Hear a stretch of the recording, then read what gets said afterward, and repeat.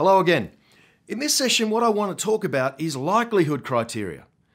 Now, I've seen the full gamut um, from people using percentages. 90 to 99% is almost certain. Almost certain is expected to occur in most circumstances. I've seen organisations use um, instances per year. And I've also seen instances per transaction. But what happens when you've got an organisation where part of the organisation, one likelihood criteria is appropriate, but for the other part of the, the organisation, another criteria is appropriate. And I'll give you an example. I've recently been working with an organisation that does multiple millions of transactions per year. And we talked about the number of fraud events that have been discovered. And in on any given year, there might be sort of five to 10 fraudulent events discovered. Now, if you were to use the uh, uh an annual based or a time based likelihood criteria for that organization where anything greater than one instance per year was almost certain, then it would be almost certain that that event is going to occur in terms of a fraud. But what about if we turn that around and we say, well, hang on, they've done 5 million transactions in that particular period and there's only five instances of fraud.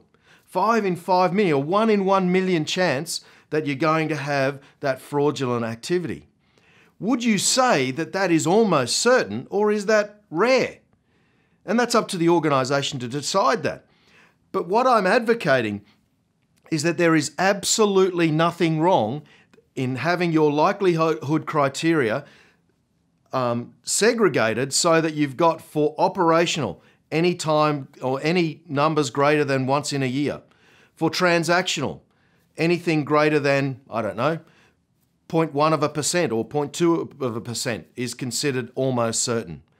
And that way, you can actually assess the likelihood of that particular event occurring in, in a way that is actually commensurate with the actual likelihood that is going to occur.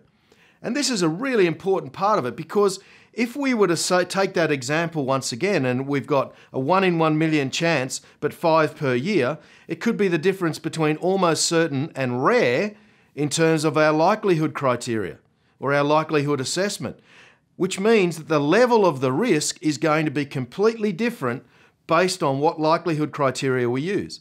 Therefore, the effort that we put in in terms of managing that risk above the existing controls could mean that we're spending more resources than we necessarily need to do.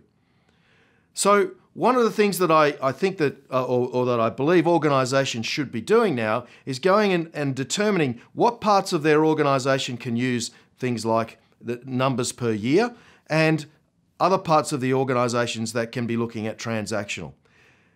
There is absolutely nothing wrong, as I said, with look with maintaining those side by side in the same likelihood matrix that you use. That's all I've got for this session. As always, let's be careful out there.